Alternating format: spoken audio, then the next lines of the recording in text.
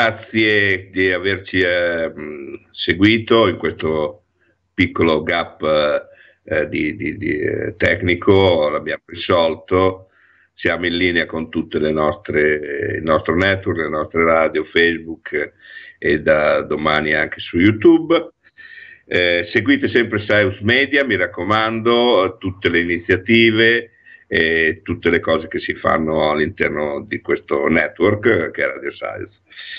Eh, allora, come dicevo, eh, già da, da, molte volte ormai a, a, fino ad oggi, leggo sempre per iniziare una piccola pillola di saggezza o comunque un qualcosa che non necessariamente ha, ha riferimento, anzi quasi mai ha riferimento con, con, i temi trattati poi, ma che così, un, una, una, un un momento di riflessione o comunque un qualcosa di inaspettato eh, che ci regala la saggezza millenaria eh, orient- eh, dell'estremo oriente.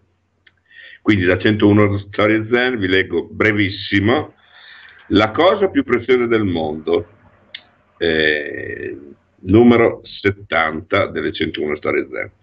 Uno studente domandò a Sozan, un maestro cinese di zen, Qual è la, la cosa più preziosa del mondo? Il maestro disse, la testa di un gatto morto. E perché la testa di un gatto morto è la cosa più preziosa del mondo? insistette lo studente. Susan rispose, perché nessuno può dirne il prezzo. Ecco qua. E con questo, che anche fa un po' sorridere, però in effetti in questo mondo dove tutto ha un prezzo, eh, la testa di un gatto morto sicuramente non ce l'ha. Eh, dovrebbe fare riflettere un pochino. Dunque, eh, siamo al 15 di, eh, di luglio, eh, una, una, breve, una, breve, riflessione un, eh, mia sull'attualità.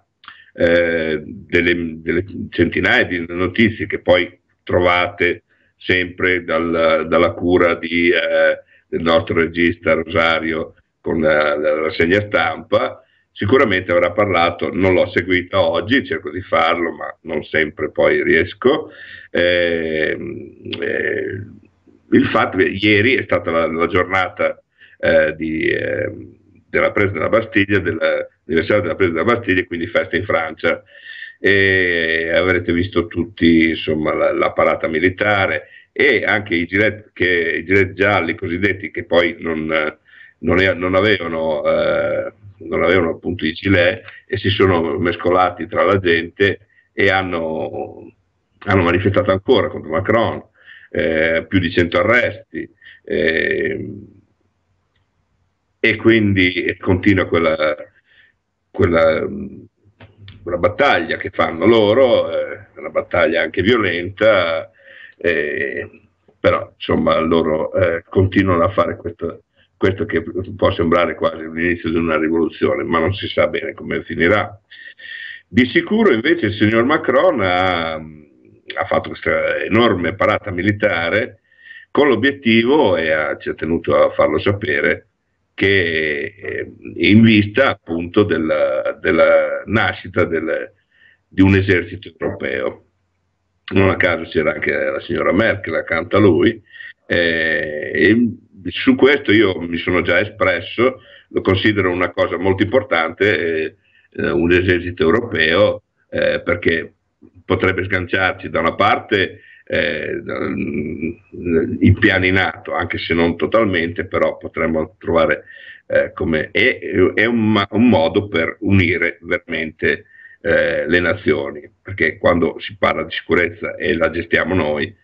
questo è il vero sovranismo europeo che manca.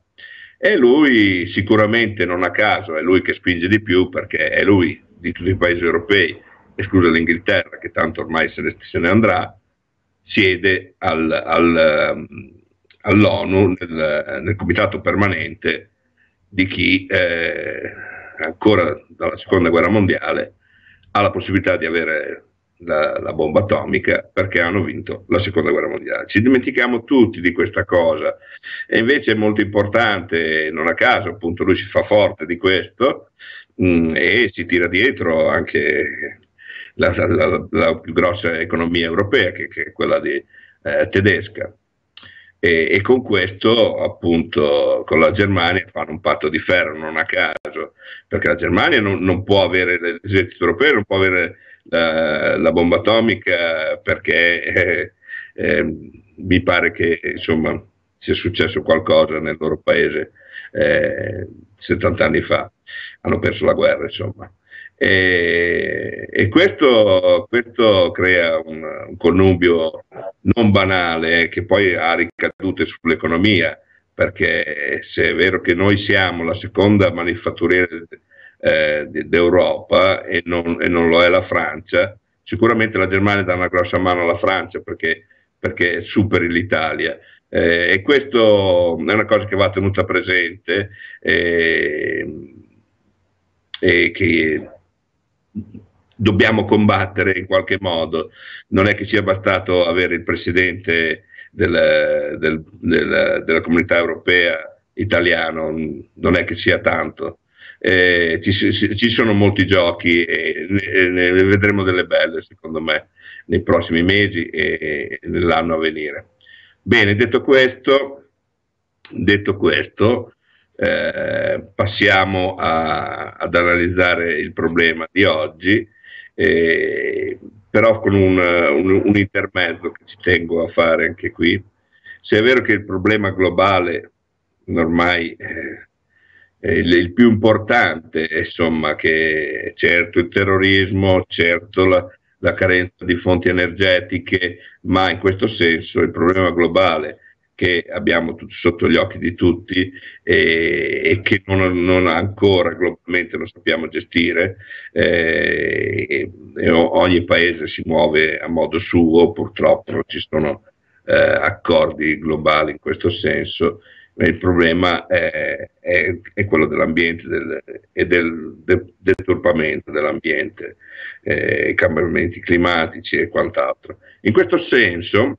eh, vi ricordo così eh, che a Bologna, a Bologna eh, fra l'altro è gratuita l'entrata, c'è una mostra che è prevalentemente fotografica, ma non solo, è anche pensata per ragazzi con esempi eh, didattici legati anche alla realtà aumentata, quindi eh, intriganti per, chi, eh, per, questo, per, questi piccoli digitali, digitalizzati che sono i nostri figli, eh, i ragazzini o i nostri nipoti in questo caso, per quanto mi riguarda, visto che non sono giovanissimo. E, ehm, Ecco, eh, questo è sicuramente il problema di questi anni, che guardavo ieri una, un filmato su Rai 5, vabbè, parlava dell'Antartide e di tutte le possibilità che ci sono lì eh, di, di, di, capire come i cambiamenti climatici eh, si, eh, hanno, hanno, ricadute poi anche nei, nei movimenti dei ghiacci nell'Antartide. E un dato, un dato anche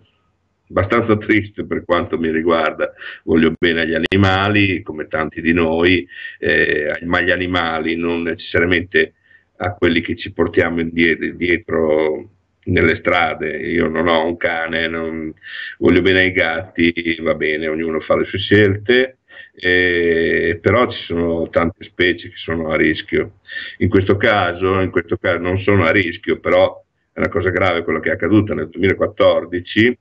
Eh, I pinguini imperatore, che sono i più massicci, più grandi, pensate che un, un esemplare adulto arriva fino a 1,20 m, eh, sono, sono, veramente possenti eh, e sono quelli che sono i più resistenti al freddo, a, però i piccoli, i piccoli eh, se non sono eh, imboccati da, da, dagli adulti, dai genitori, eh, e siccome nascono con, non con la, la, livrea normale, quella che gli serve, che serve, e che è assolutamente impermeabile, che serve a, ai pinguini adulti per andare sott'acqua, ma con delle piume, eh, anche se mh, mm, eh, che servono per essere resistenti al freddo, insomma, però eh, se, se, se non, eh, non, con eh, i genitori vicino eh, possono morire sia di fame che di freddo. E infatti nel 2014 c'è stato eh, un'ecatombe di questi, di questi pinguini, questa razza qui, fino al 95% sono morti e perché? Perché in quel caso lì una, uno pensa allo scioglimento dei ghiacci, no, in questo caso fu il contrario, nell'Antartide ci sono delle zone che eh, il, il, ghiaccio si apre, rimane una, un, un, punto dove appunto gli uccelli, i pinguini e eh, foche possono inabissarsi per andare a prendere pesce eh, ed è, sono come dei laghi chiusi, insomma. In questo caso una ondata di freddo ghiacciò tutto e quindi i pinguini camminando e scivolando dovevano fare fino a 20-25 km per raggiungere il mare aperto e in questa distanza, pensate, i pinguini non è che camminano molto bene, sono, sono anche ridicoli nel loro camminare, e, e simpatici, e purtroppo quando sono tornati il 95% dei, dei piccoli era morto. Ecco, mh, mm, quindi eh, questo, questo, è il problema fondamentale sotto vari aspetti, magari in una trasmissione cercheremo di affrontarlo. Eh,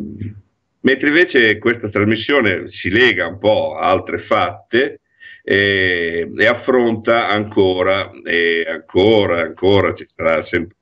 motivo di, di, di, di affrontare questa problematica eh, che è quella della digitalizzazione del mondo eh, e del, di quello che eh, accade nel momento in cui eh, eh, tutti noi, ma purtroppo i giovani di più, eh, stanno tanto tempo collegati con, con i device, con, con gli smartphone e tutte le macchine digitali che ci sono. Eh, mm, mi rifaccio a un inserto del, del Corriere della Sera eh, recente dove eh, Corriere Salute dove vengono affrontati. E quindi eh, lo, lo, premetto, parlerò di, di questo aspetto come viene riportato in maniera fra l'altro insomma, molto eh, valida chi, chi, chi, ne parla, citazioni da, da testi scientifici, eh, ricerche consolidate e non eh, cose così eh, all'impronta o, o, o, non professionali. E quindi c'è una battaglia veramente aperta su, su cosa... Mh, battaglia, cioè, ci sono, sono ricerche aperte e alcune sono veramente un po' inquietanti, eh, pur, pur, sappiamo che eh, la digitalizzazione apre anche delle frontiere eh, positive nella medicina, nella salute, abbiamo già parlato, le, anche la robotica aiuta in questo senso. Eh, però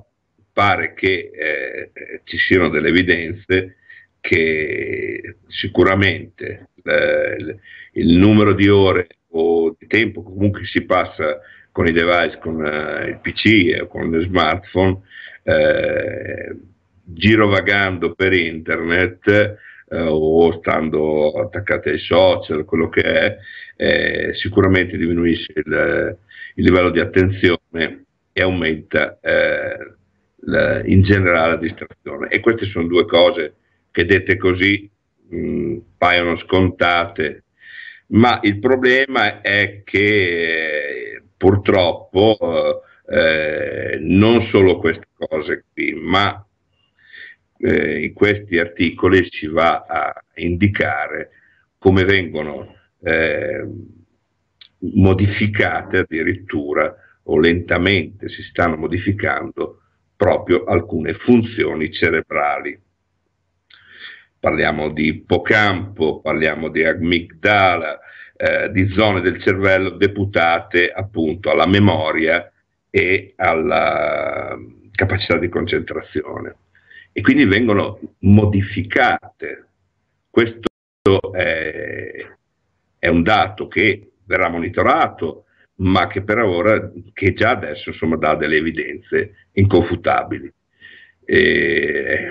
su questo io non, non, do un giudizio, invito alla riflessione come sempre, come sempre facciamo come stile di radio, invito alla riflessione e alla ricerca di ulteriori informazioni che possono corroborare quello che sto dicendo, eh, confermare o disconfermare, perché noi siamo qua aperti appunto e siamo contenti se sconfermate quello che diciamo. Noi cerchiamo di fare un lavoro il più possibile equanime, lo dico sempre, e, e approfondito, però siamo umani appunto. Finché rimaniamo umani mi viene da dire, perché come qua mi viene indicato, noi creiamo gli algoritmi e loro sempre di più creano noi. Cosiddetto sembra uno slogan, però mh, mm, di fatto, di fatto vi leggo, vi leggo qualcosa in diretta perché così eh, sicuramente le parole eh, dette così come se fossimo al bar, come cerchiamo di fare, eh, a volte invece ci vuole un, un, un pensiero ben definito. Allora, in realtà dice questo autore che è Luigi Ripamonti nella, nella nel frontespizio di Corriere Salute, di, del Corriere della Sera della settimana scorsa, tra l'altro, in realtà stiamo accedendo progressivamente a entità algoritmiche, e qui lo riprendiamo, gli algoritmi che ci creano in qualche modo, che creano, che, che mh, guidano, guidano il nostro comportamento e lo influenzano sicuramente, sicuramente. Eh, prossimamente a entità algoritmiche anche la gestione di funzioni amministrative, comunicative, sociali, fra cui istruzione e appunto salute. Si crea quindi un paradosso perché siamo e, e saremo sempre più esecutori di compiti che ci vengono assegnati dagli algoritmi e più ci colleghiamo a sistemi algoritmici, più essi rafforzano la nostra dipendenza da risorse esterne oggi per la, per la memoria e le decisioni, domani, ma, già, ma anche già ora, per il desiderio stesso. Una cosa banale che mi è capitata eh, sei mesi fa, eh, semplicemente avevo ricordato che avrei fatto avrei compiuto gli anni, non mi ricordo con qualche amico, eh, un compleanno importante eh, perché è un decennio della mia vita e, e così. Eh, la settimana dopo mi vedo presentare da una ditta sconosciuta, non so che, una bellissima t-shirt con, eh, ricordando Uh, sono nato nel maggio tal dei tali, eh, sto diventando anziano, però me la cavo molto bene, più o meno una cosa così. Mm, eh, eh, bellissimo, me la compro. Insomma, mm, con pochi dati, eh, solamente la data di, na- di nascita, ti eh, sanno che tu avresti, eh, avresti gradito una t-shirt di quel tipo lì eh, per come poi eh, ti interagisci, quindi anche quello che ci veniva scritto, eh, che non vi ho detto tutto, però insomma era data per me e l'ho comprata. Perfetto, quindi siamo già a questo punto a livello di marketing, eh, parlavo anche con dei colleghi al lavoro che si occupano di queste cose e già insomma ci sono algoritmi avanzati che eh, eh, fanno una precognizione di quelli che saranno i, i tuoi interessi eh, o, o di, di, di, di, oggetti o, di vestiario. Eh. Eh, la raccolta dei dati vengono eh, messe in queste machine learning, queste macchine che apprendono eh, e le risposte sono queste vendere comunque. Eh, quindi questo è, è, già, è, già, così, quindi il desiderio stesso,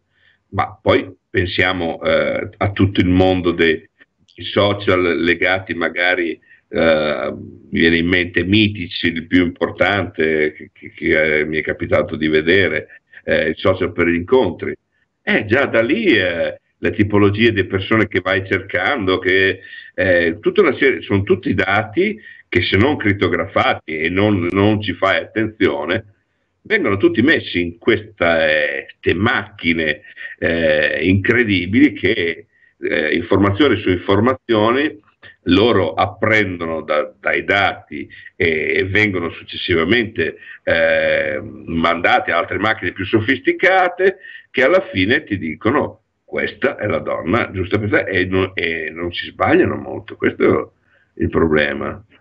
Allora l'anima gemella è già, è già, è già sul piatto, perfetto direi. Eh, bene, eh, vorrei dire delle cose ma in, in, questo senso, ma lascio perdere, lascio perdere perché eh, sulle cose, sull'amore, sul, eh, sulla sessualità, ci sarebbe tanto da dire. Comunque se anche il desiderio stesso, eh, il desiderio in quanto tale, no? il desiderio d'amore, il desiderio della sessualità viene pre-confezionato da degli algoritmi, beh insomma il nostro essere umani mi sembra che ne vada un po', hm? ne sia un po', un po abbacchiato eh, e questo è un po', è, è talmente, siccome questi algoritmi hanno, hanno la, mm, cioè, sono pensati e, e, e hanno la, la, la, capacità di essere pervasivi, sono, sono creati in questo senso. Eh, adesso viene da saltare di, di palo in frasca eh, l'internet delle cose, che significa milioni di sensori eh, attraverso, attraverso la, la Factory eh, 4.10, eh, eh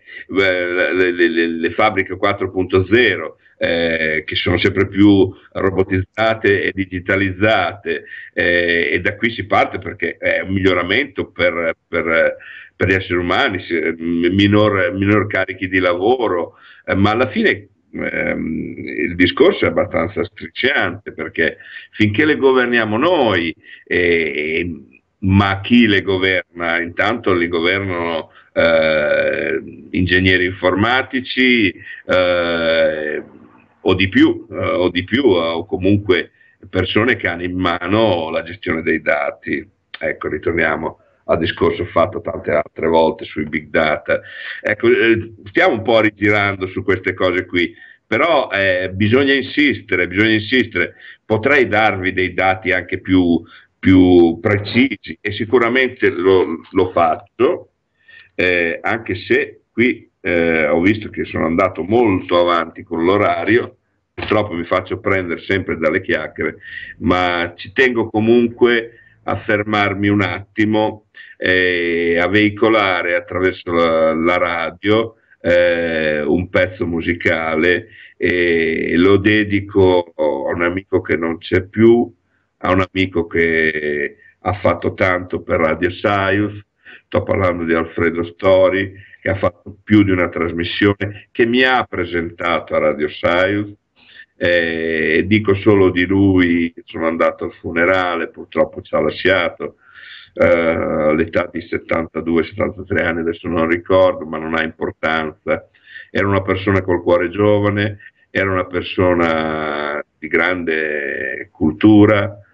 intellettuale, eh, una persona che aveva l'arma dell'ironia, che la portava sempre con sé, eh, un galantuomo comunque, un gran signore, una persona molto aperta, molto generosa e quindi la ricordiamo, beh, per noi per la radio è una perdita, la ricordiamo con questo pezzo che vi invito ad ascoltare, che è musica classica che lui amava tanto. Grazie.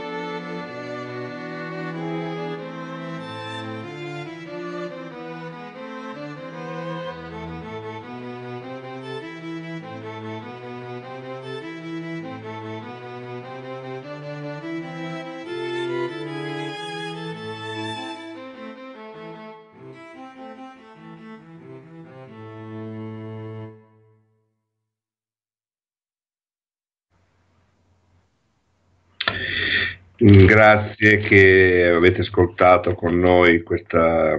questo pezzo musicale. Vi ricordo che l'immagine che avete visto a fianco eh, della trasmissione di, di, Alfredo rimarrà sempre eh, nel, nel, palinsesto di, di, di Radio Saius, eh, così a memoria ricordo di lui. Non, non, è l'unica trasmissione che ha fatto, ma sicuramente quella che ha portato più avanti con più interesse, con più eh, eh, con, con, più voglia, insomma, quella che forse gli è riuscita anche meglio è questa qui, Don Chisciotte, ehm, non mi ricordo il titolo in questo momento, comunque non ha importanza. Eh, comunque ecco, rimarrà sempre e quindi come testimonianza che anche la regia vuole, vuole avere perché soprattutto Rosario era un grande amico di Alfredo che ancora qui vogliamo ricordare. Bene, lui ci vuole così, attenti eh, sicuramente e, e, presenti e quindi continuiamo, continuiamo la, finendo un po' il nostro, il nostro discorso, anche se potete capire che ci sono veramente tantissime cose da dire, ma io non mollerò questo, questo argomento, lo continuerò a portare avanti perché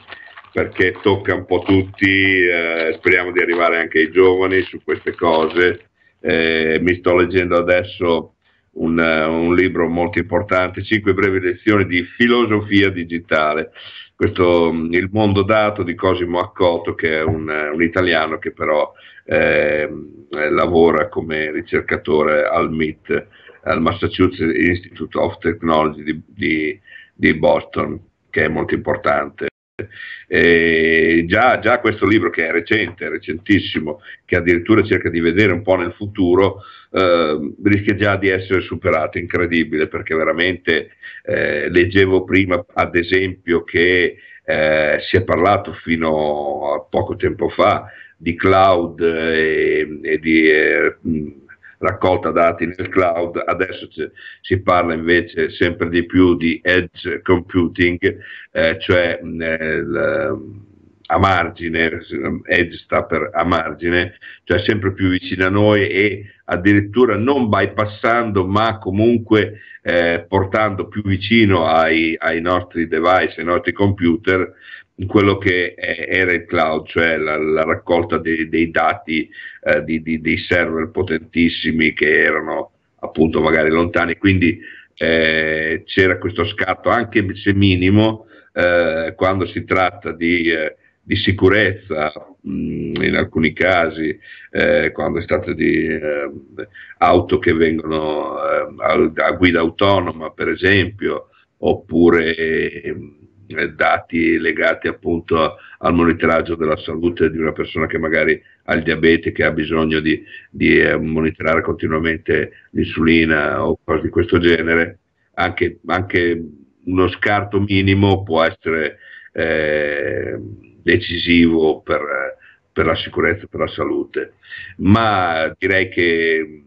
sicuramente gli algoritmi sono nati eh, primariamente, perché quello è puro calcolo per la finanza, e allora avere un'informazione avanzata per decidere dove spostare dei soldini più, qui piuttosto che là, eh beh, questo, questo, è decisivo, eh, arrivare prima eh, può decidere de, de, de, di un guadagno piuttosto che di una perdita.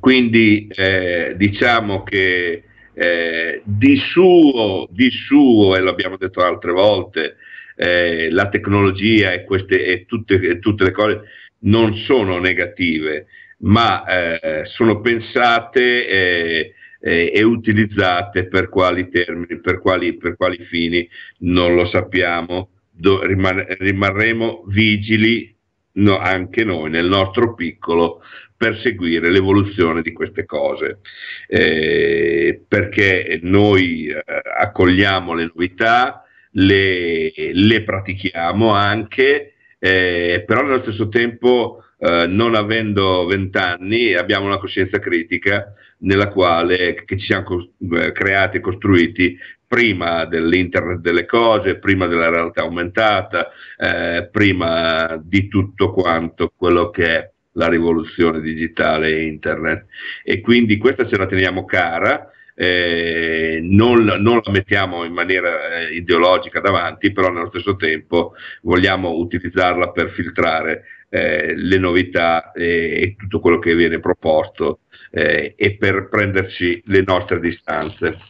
Questo non vuol dire appunto non negarle o non utilizzarle, ci mancherebbe. Però eh, secondo questo signore, e qui veramente finisco, eh, questo signore che è eh, dunque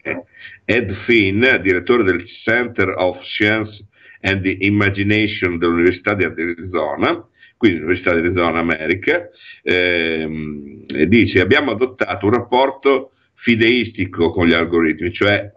abbiamo una, una sorta di fede e la fede di solito non è, non è mediata dalla, dalla, ragione, mi dicono. Eh, eh, in questo testo in che cosa vogliono gli algoritmi. Gli, algor- gli, algoritmi ci guidano nelle città, ci raccomandano i film da vedere, forniscono risposte alle nostre ricerche. Li immaginiamo eleganti, semplici ed efficienti, mentre sono coacervi disordinati che mettono insieme diverse forme di lavoro umano, risorse materiali, eppure anche scelte ideologiche. Attenzione. Abbiamo velato la, la realtà degli algoritmi dietro una nozione mistica del calcolo come verità universale, perché comunque per ora, fino ad ora, eh, macchine di macchine, eh, comunque si parla sempre di calcolo. Eh, poi c'è il deep learning, eh, il, l'apprendimento profondo, le machine learning che apprendono dall'esperienza e questo dovrebbe essere la strada di una sorta di intelligenza artificiale, ma su questo ci fermiamo e, e rimandiamo a un'altra a un'altra trasmissione. Eh, un'ultima cosa ancora, eh, dunque, mm, questa, questo signore qui, che è Eric Sadin, che ha scritto La siliconizzazione del mondo, eh, edito da Einaudi, che è una casa editrice piuttosto seria, che non, eh, non, pubblica cose che non sono confermate da ricerche approfondite e, e sostanziate. E allora questo qui dice eh, così, eh, in maniera molto colloquiale, dice, sediamo contenti o perlomeno passivi sulle panche di questa chiesa planetaria, chiesa planetaria, sedotti, come sostiene il filosofo francese, ah, un filosofo questo qua che scrive, ma infatti ma la filosofia diventa sempre più importante, visto che mi si dice che ormai il management non è più quello degli ingegneri eh, finanziari, tipo Marchionne, ma quello dei filosofi che abbiano una capacità creativa rispetto al, eh, che sappiano, abbiano una forte cultura e una capacità creativa di innovare e, trovare nuovi business.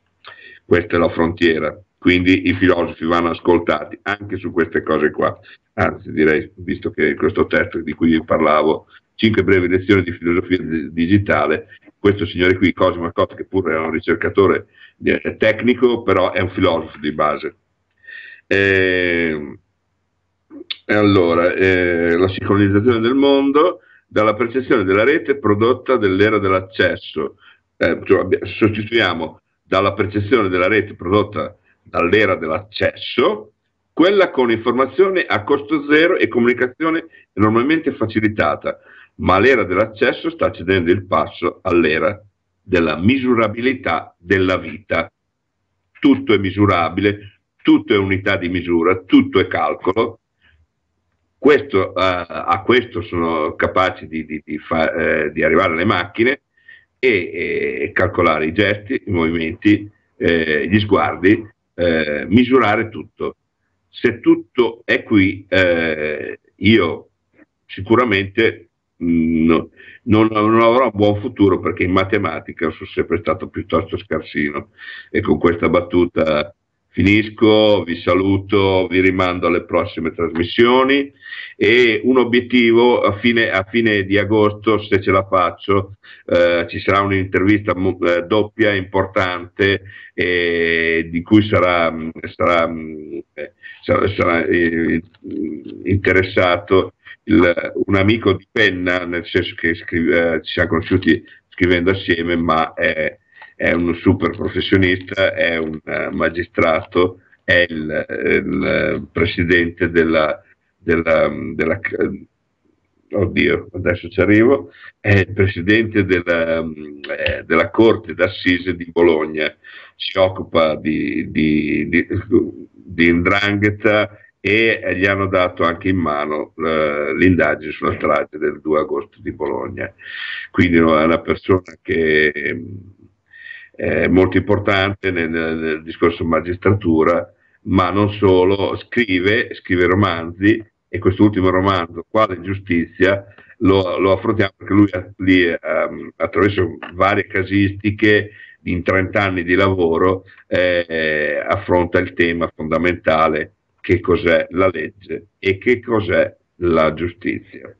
E come contraltare, eh, e finisco, ci sarà una persona che avete già conosciuto come scrittore, Franco Nanni, ma che è uno psicologo clinico eh, e siccome eh, Michele Leoni, il Presidente della Corte d'Assise, si occupa molto di, di eh, criminologia, si è occupato, ma ha insegnato all'Università di Bologna psicologia giuridica, Ecco, sarà molto interessante e molto stimolante mettere insieme chi fa psicologia clinica e lavora con casi difficili di giovani, eh, ciberbullismo e quant'altro, eh, e, e, un magistrato che si fa domande su, su, su quello che è la giustizia eh, e non solo la legge. Ecco qua. Eh, con questo saluto, un abbraccio a tutti voi spero che qualche cosina vi ho lasciato con questa trasmissione e quindi a fra 15 giorni a tambur battente saremo presenti, quindi direi attorno al 30 di luglio. Quindi un saluto alla radio, alla nostra regia e quindi a presto, a fra 15 giorni. Ciao a tutti, ciao.